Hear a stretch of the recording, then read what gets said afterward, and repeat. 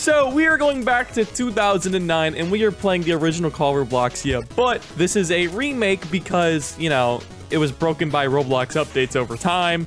Uh-oh, here they come. Yeah, we got a kill. What are you aiming at?